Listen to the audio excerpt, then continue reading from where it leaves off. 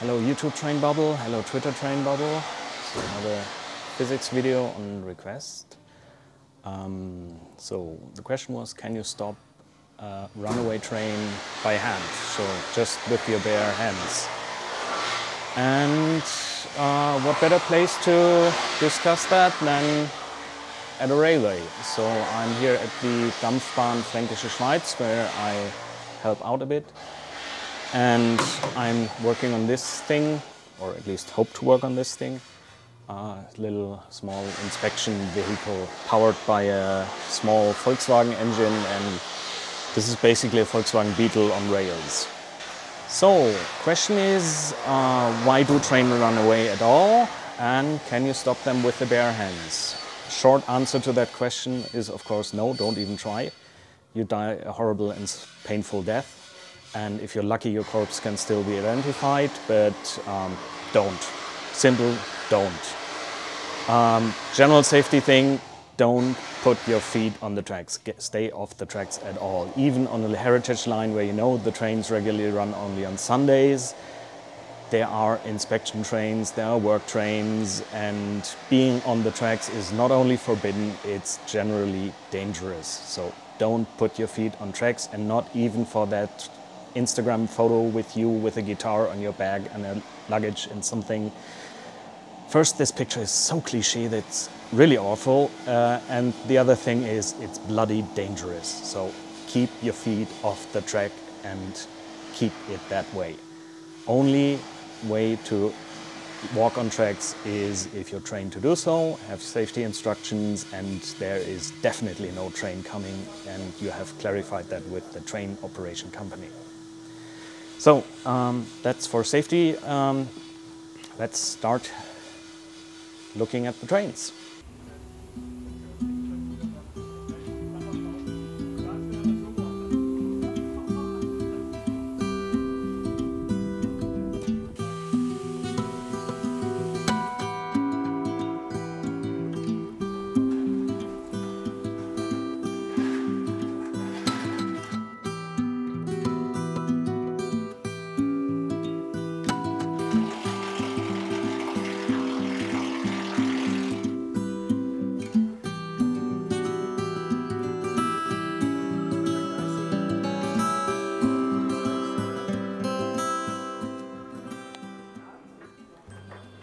Train brakes, as they are used today, are using pressurized air, and they were invented by Westinghouse in 1869, I think.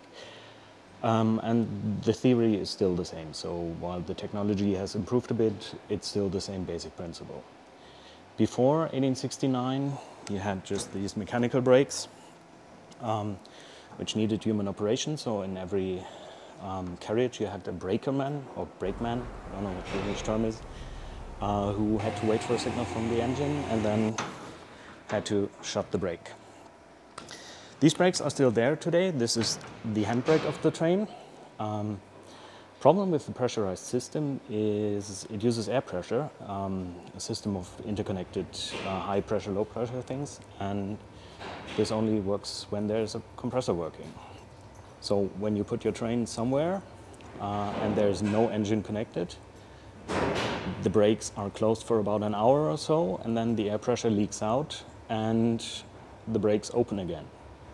Uh, the system is designed in a way that if the air pressure is going away when uh, the train is running, so on a high pressure operation mode, as soon as the brake pressure tubes break or uh, something goes open, the train stops. The brakes close immediately.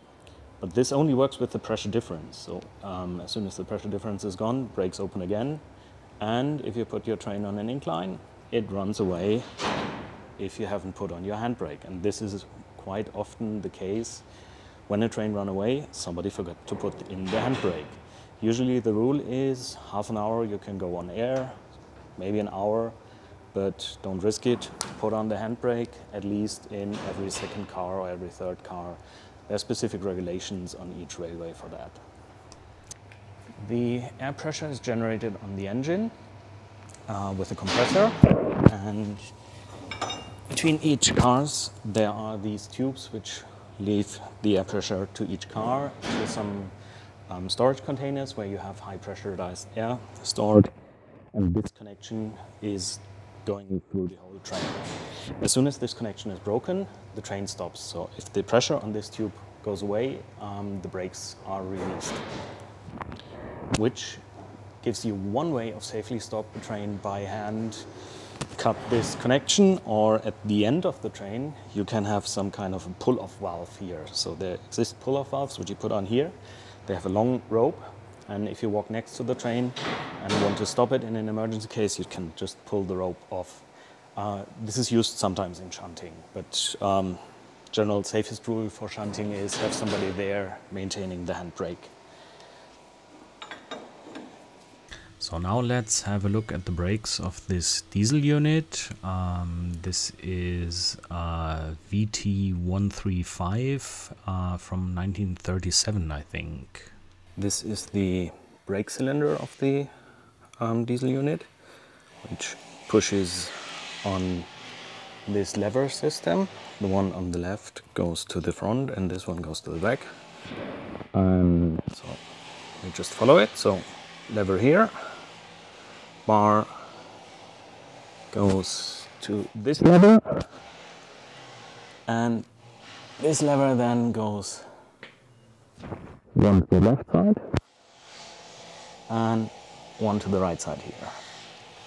And I don't know if this gets in focus yeah. So this is the lever and this is directly connected to the brake pad so brake pad. So the standard way to stop a train is the main brake. Um, this is a steam engine. It looks roughly the same on a diesel engine. On a modern engine it definitely will look different. But you have here the main brake valve. So these displays are the brake pressure. So the lower one is the brake pressure in the tubes going to the um, carriages. And the upper one is the pressure in the main um, pressurized compartment or the main air container. And this thing here is the brake valve. So this is a brake valve made by Westinghouse actually so in Germany usually it's Knorr-Bremse, but there are also some Westinghouse brakes. Another way to stop a rolling train or a runaway train are these beasts. They're called skids. You place them on the rail like this. The train wheel comes here, presses that on the on the track, and then it skids along the rail, and therefore creating friction, and the train will eventually stop. Uh, these are used for shunting or for securing a, a, a, train which is just parked somewhere. And the problem with these things is if you, if you stop a rolling train, they sometimes come off the tracks and then they're shooting around like a projectile and um, these can easily take away your leg, so you don't want to be near one when it flies off the track. At the end of a track, you have these things. Um, they're called bumpers or buffers, um, I think, in English. In German, it's Prellbock, um, which just shows you how sweet and soft the German language is. Um, these are basically just a bar um, and some holding structure which is fixed on the tracks, so they're clamped on the tracks. They're not clamped absolutely tight, so when you bump into them, they move a bit. The idea is that they absorb the energy of the train, so you bump into it, the, everything slides a bit further on, but by creating enough friction at the rails, um, they absorb all the kinetic energy from the train and the train eventually stops.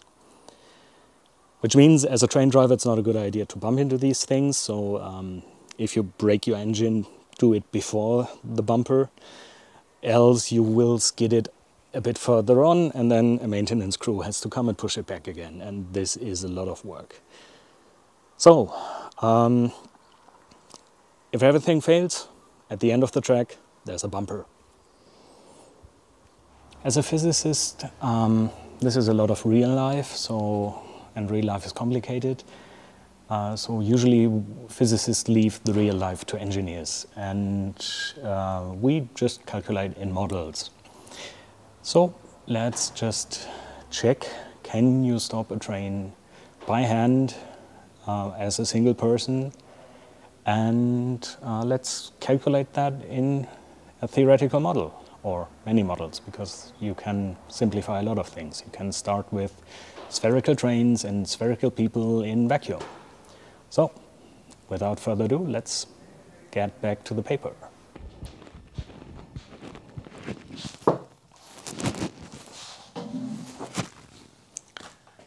So, I'm back from the real world, back in my nerd cave. I've prepared some healthy stuff. There's greens in it, so it must be healthy, probably a salad. And so let's start calculating things. So we should start with the spherical train in vacuum. So we have a spherical train and a spherical person trying to catch it. We have a spherical train and a spherical person. Let's say the train is just shortly run away, so it's at 5 kilometers an hour and the person is at rest. And um, let's not take a train because this is too heavy, so just start with one carriage, uh, two hours, um, which is something like 18 tons. And this person is 80 kilograms, so pretty average person, a bit lighter than me. Just assume these are spheres and they are completely rigid, so there's no deformation happening, so then we have an elastic scattering. For elastic scattering, um, you have these initial velocities and masses, and then um, the impulse or the momentum of the train is transferred to the person, or part of the momentum is transferred to the person, and then the person is shot away. So, um, just to get a rough idea what happens, uh, the final velocity of the train after the scattering. So v1 prime is 2 times m1 v1 plus m2 v2 divided by m1 plus m2 minus v1. And the same goes for v2, that's the person, 2 times m1 v1 plus m2 v2 divided by M1 plus m2 minus v2. So v2 is 0, so all this goes away. And we're left with 2 mv1 m, uh, m1 v1 divided by m1 plus m2 minus v1 and the same for m2. So if we put in the numbers, so this is 2 times m1 is 18,000 kilogram times v1 times 5,000 meters per hour divided by m1 plus m2, 18 or 80 kilogram minus 1000 meter per hour. And the v2 uh, is the same, but not the minus 5, uh, 5000 meters per hour. So this is just 2 times 1800 kilogram, 500, 5000 meters per hour, divided by 18 or 80 kilogram.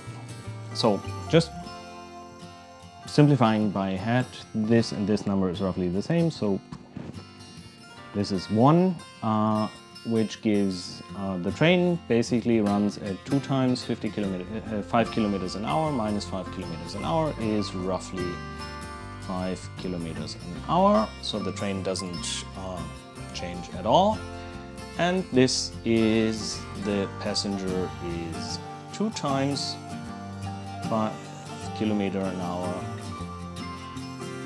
is 10 kilometers an hour.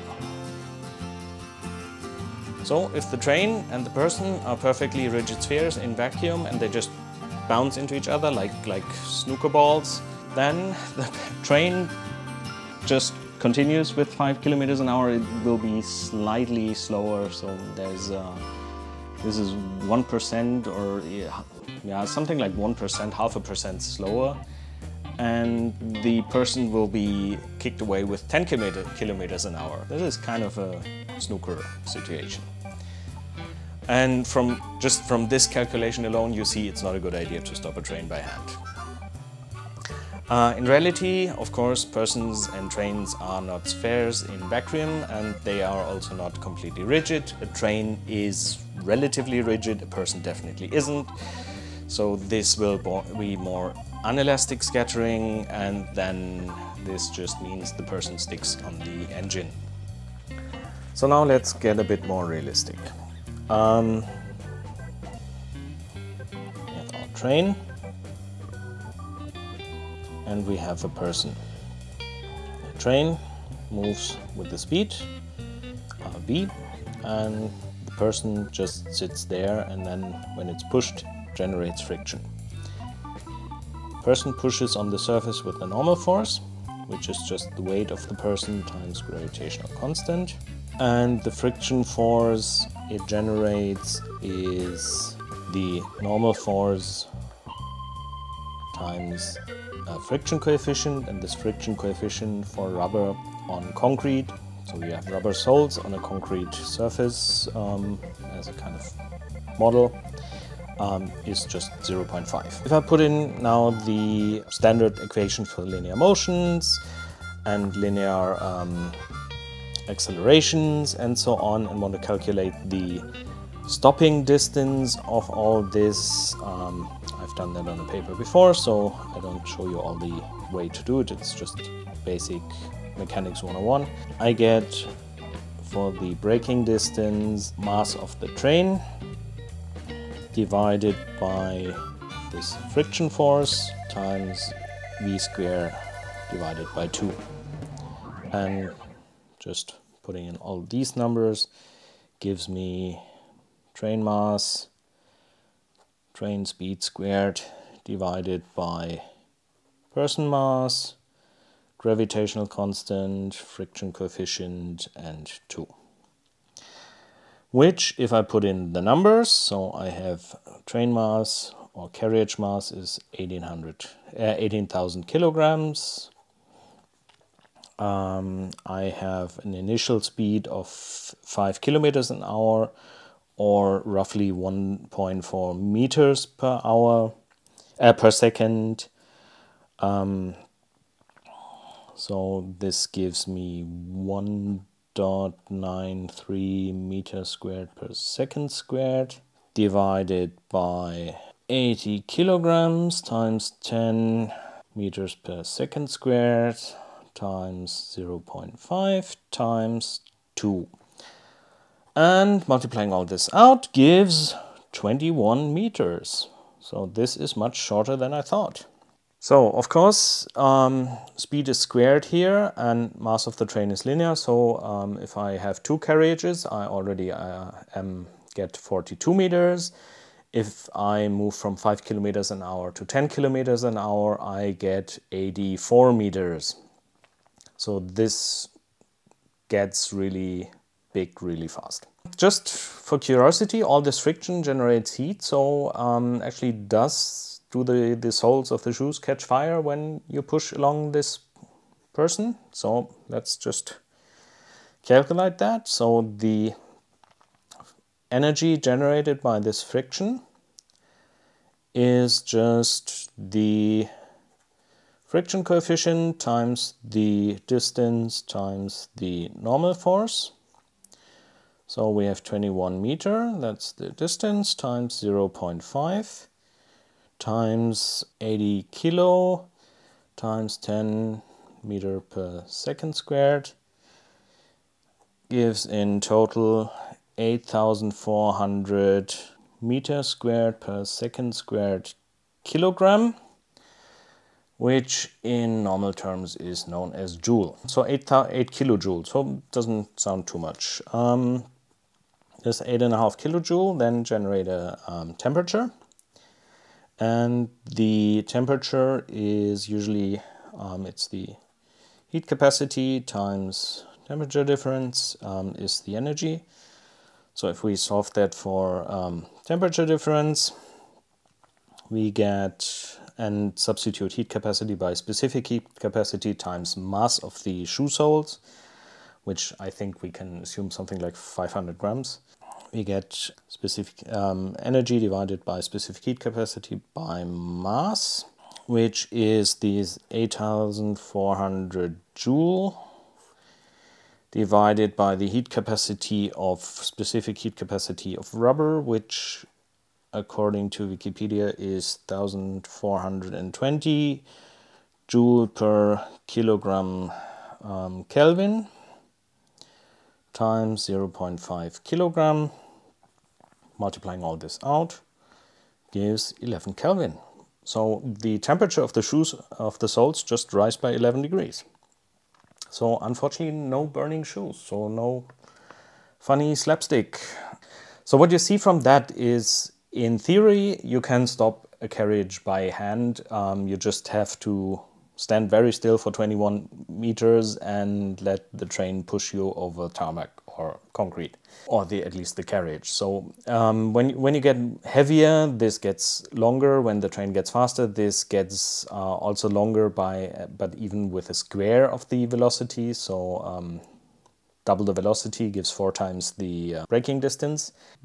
The big problem there is, I'm assuming here you're a box and you don't topple over and everything's very smooth and, and so on. But on, on real life, you're on tracks, there are sleepers, there's ballast, there's a lot of stuff where you can topple over which is what usually happens. So um, when you try to stop a train, you topple and you fall and then the train runs over you. So while theoretically possible to stop a train, it's not a good idea. So you've seen from the calculation, theoretically it's possible to stop at least a runaway carriage. Um, a complete runaway train, definitely no way. It, this also works the other way around. So you can push a carriage. Um, it's it takes time and uh, you need to push really really hard, but it is possible to push a carriage by just your muscle force. Um, at the Dampfbahn we tried this also with an engine and a whole physics class could pull one engine out of the shed. Short version, it is possible to stop a train, don't. Please don't try. Instead of subscribing and whatever and donating coffee and, and whatever, I just would ask you to um, lend a hand on your local heritage railway, uh, donate money, go there and ride them. They all have uh, really suffered by COVID. Most of them are just financed by selling tickets and by not being able to run for more than half a year. A lot of them have lost a lot of money. They um, they require that money. So even if you're not running, you need maintenance, you need work. Some of the heritage railways have uh, people working on salary for them, making bookkeeping and, and maintenance work and stuff like that. So um, buy vouchers, go to the heritage railway and help out as a volunteer and just support them wherever you can. And the same goes for any other cultural things or any voluntary cultural things. A lot of cultural stuff really, really suffered in the last month. So instead of subscribing to my channel, please donate something to cultural things or heritage railways or anything else which was affected by COVID. As a summary of this video, you probably would have guessed you can't stop a train by hand you might stop a single carriage under certain circumstances if it's moving very, very, very slowly and uh, you're very lucky. But in general, don't. Don't try to stop a runaway train by hand.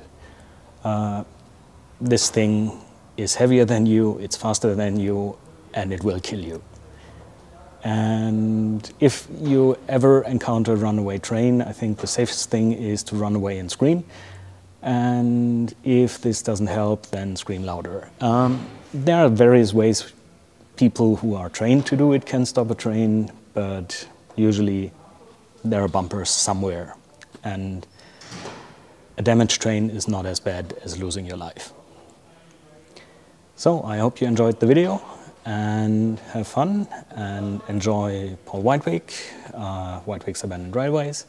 Enjoy Gareth Dennis with his Railnatter and a lot of other really interesting YouTube channels on British rails, some on German rails. So have fun.